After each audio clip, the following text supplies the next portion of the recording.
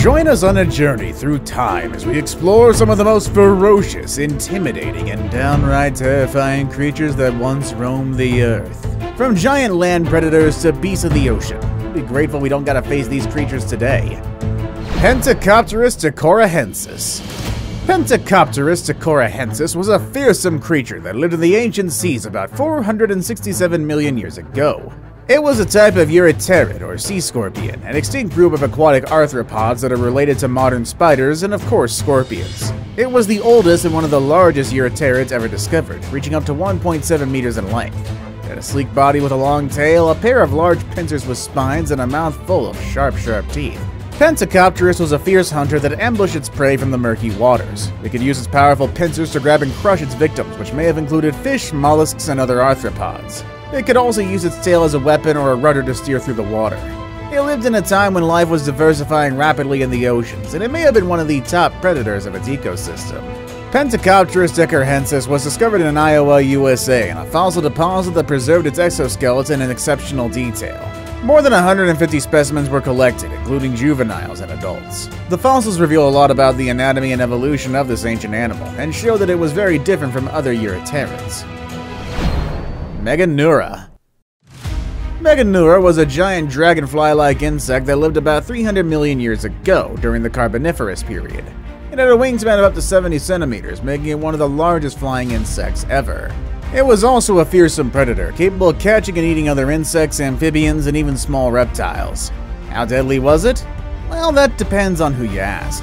If you were a tiny frog or lizard living in the swampy forests of the ancient world, you'd probably be terrified of it. It could swoop down on you with its powerful jaws and razor sharp teeth and rip you apart in seconds. You'd have no chance of escaping or fighting back. You'd just be a snack for this monstrous bug. But if you were a human, you'd have nothing to fear from Meganeura. In fact, you'd never even seen one alive, possibly, because they went extinct long before humans evolved. And even if they somehow survived until now, they wouldn't be able to survive in the modern atmosphere, which is much less oxygen than ones that they were adapted to. They would suffocate and die pretty quickly, and you could easily squash them with your shoe or spray them with insecticide. You'd be the predator, and they'd be the prey. Hallucigenia fortis.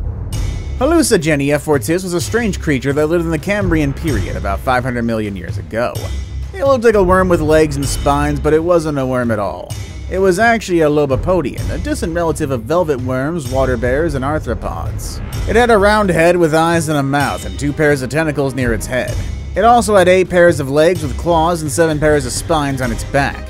It was about 2 centimeters long, which may not sound impressive, but it was one of the largest animals in its environment. It probably used its tentacles and legs to crawl on the seafloor and find food, such as algae or small animals. It might have used its spines to defend itself from predators or to impress potential mates. Hallucigenia fortis was not deadly at all, unless you were a microscopic organism that it could swallow. It was harmless to humans and other large animals, unless you stepped on it by accident and got pricked by its spines. Then you might feel a slight pain or maybe even a tickle. But maybe nothing at all, because this spiny worm is extinct and you'll never see one in real life. Arthropleura. Meet Arthropleura, a giant relative of millipedes that lived about 300 million years ago. This beast grew up to 2.6 meters long and 50 centimeters wide, making it the largest known land invertebrate of all time. Just imagine a subway train made of legs and armor plates, and you get the idea. But of course, the million dollar question is was it deadly? Well, some scientists think it was a peaceful herbivore that fed on decaying plant matter. It would avoid predators with its size and hard exoskeleton. But others think it was a fierce carnivore that hunted smaller animals with its powerful jaws and venomous fangs. Truth is, don't know for sure, because we don't have any fossil evidence of its mouth parts or digestive system. We can make some educated guesses though. Arthropleura lived in a time when oxygen levels were much higher than today. This allowed insects and arthropods to grow much larger. It also lived in warm and humid forests that were rich in plant life and had few large predators. These factors suggest that Arthropleura had little need to be aggressive or defensive and could have been a gentle giant that roamed the forest floor in search of food. Andrewsarchus Meet Andrewsarchus, a savage mammal that roamed the earth a whopping 45 million years ago. This guy was no joke. He was one of the largest land carnivores ever and had a skull that could make Shaquille O'Neal feel small.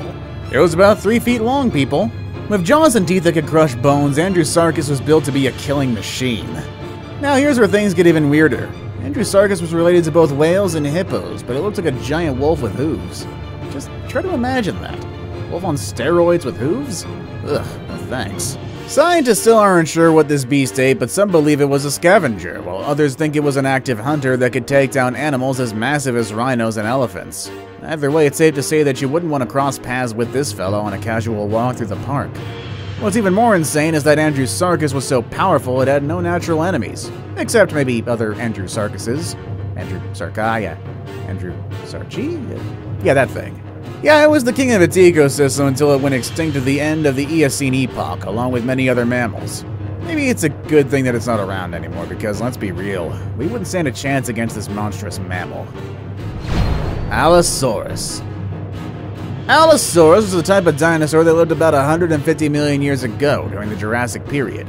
It was a fierce predator that could grow up to 12 meters long and weigh up to 2.5 tons. It had a large head with sharp teeth, powerful jaws, and a pair of horns above its eyes. It also had strong legs, long arms with three fingered claws, and a long tail that helped it balance.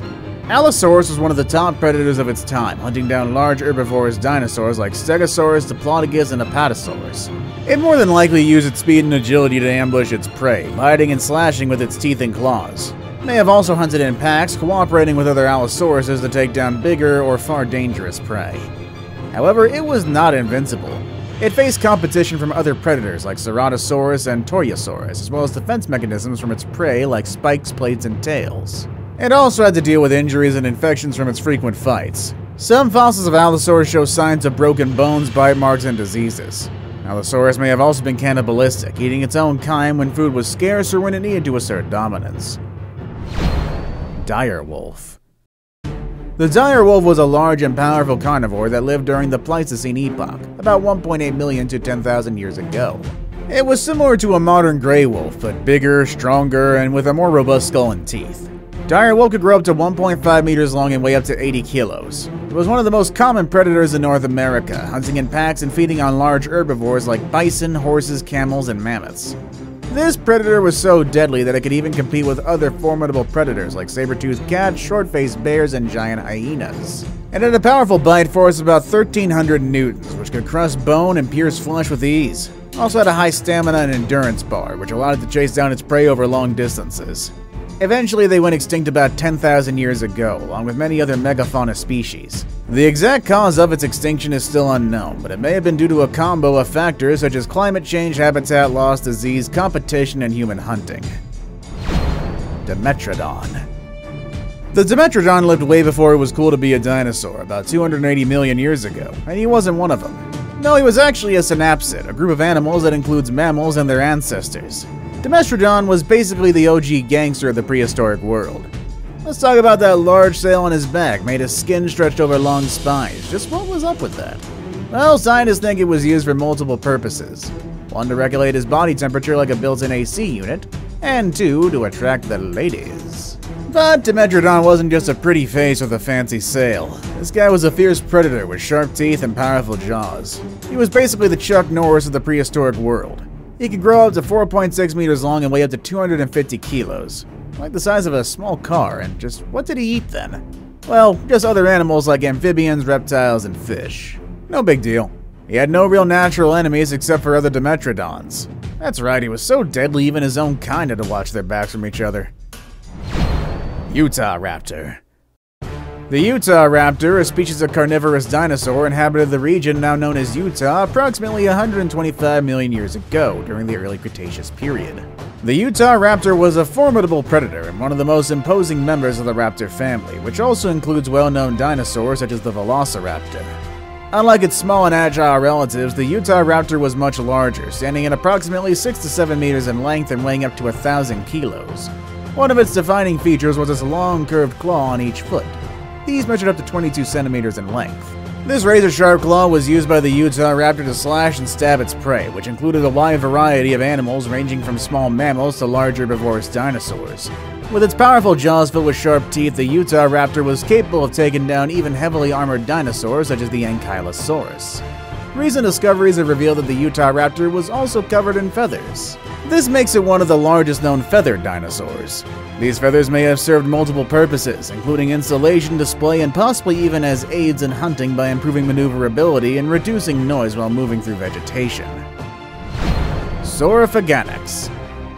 Ah, Saurophaganax, the lizard-eating master of the dinosaur kingdom.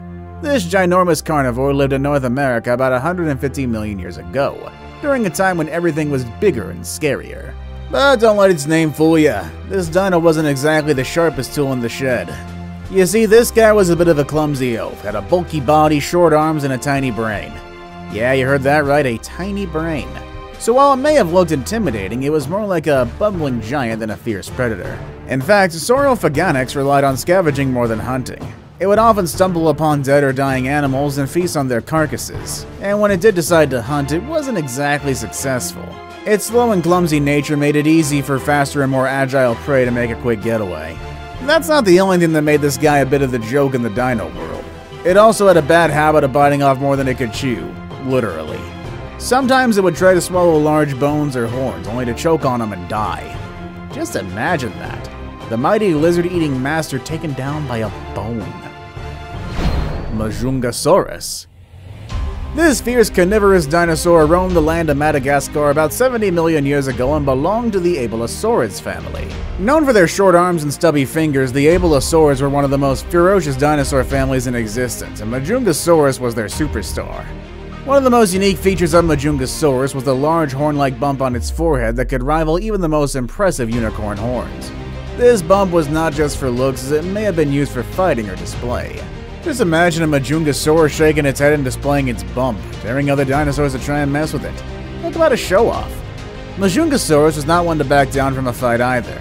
With powerful jaws full of serrated teeth, it could slice through flesh and bone with ease. Its strong neck and muscular tail also helped it balance and maneuver while hunting down its prey. The smaller dinosaurs at the time would run for their lives at the sight of a Majungasaurus, and even its own kind wasn't safe from its cannibalistic tendencies. Though it was not the biggest or the fastest dinosaur, Majungasaurus more than made up for it with its deadly skills. It measured about 6 meters long and weighed about a ton, which is about as heavy as a small car. Just imagine running into one of those beasts on a stroll through Madagascar instead of a happy King Julian. Julien. Thylacosmilus. Imagine a giant fuzzy creature with long curved fangs that protruded from its mouth even when it was closed. In a nutshell, that's what Thylacosmilus is. This little weasel was a hunter, a skilled predator that hunted large herbivores like ground sloths and glyptodonts. It was a formidable foe using its powerful jaws and razor-sharp fangs to pierce through their thick armor and flesh. Just imagine the strength of those jaws. I bet it could open even the toughest of jars without breaking a sweat. Don't worry though, this guy didn't hunt humans because he lived millions of years before we did. If we ever encounter one today, we'd probably find it cute and cuddly, like a giant furry kitty with dental problems. After trying to take care of those fangs, though, I feel like going to the dentist every day. Get this, though. Thylacosmilus even had a pouch on its belly like a marsupial. I like to think that he used it to store snacks for later, like a prehistoric fanny pack. Mapusaurus. This enormous carnivorous dinosaur lived in South America approximately 100 million years ago during the late Cretaceous period, and let me tell ya, it was no ordinary dino. Picture this colossal theropod measuring up to 12.6 meters in length and weighing a whopping 6.5 tons. It's heavier than three African elephants put together. Mapusaurus had a massive skull with powerful jaws and razor sharp teeth that could chomp through flesh and bone like it was nobody's business. And let's not forget about its strong arms with three-fingered claws that could grasp and slash its prey with ease. It was probably a pack hunter that could take down large sauropods like Argentinosaurus, one of the biggest animals to ever grace the planet. That's gotta be a sight to behold to see Mapusaurus and its crew working together to bring down a massive dinosaur that was bigger than a basketball court. Talk about teamwork. But where did Mapusaurus get its name from, you ask? Let me tell you, it was named after the word for earth in the language of the Mapuche people, who live in the region where its fossils were found. And boy, did this creature shake up the earth. It was a fearsome predator that dominated its environment and had no natural enemies. Basilosaurus. Okay, now before you start thinking that Basilosaurus was a dinosaur, let me set the record straight. Despite its name, which means king lizard, Basilosaurus was actually a mammal. Let me tell you, this creature was no ordinary mammal.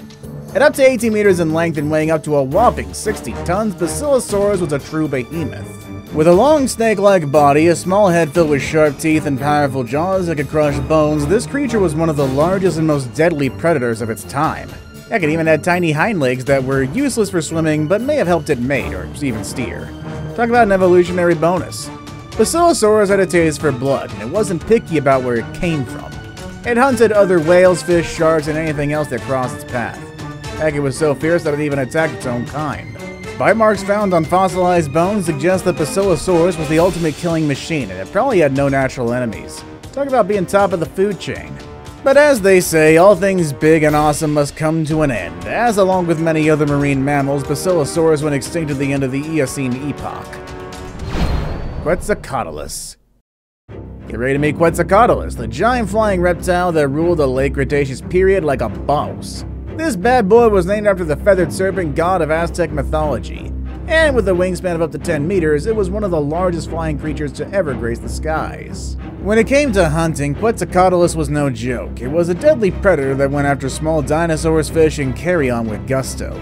Flying at speeds of up to 80 kilometers or 50 miles an hour, it could cover a lot of ground quickly, and it was a master at soaring on thermal currents.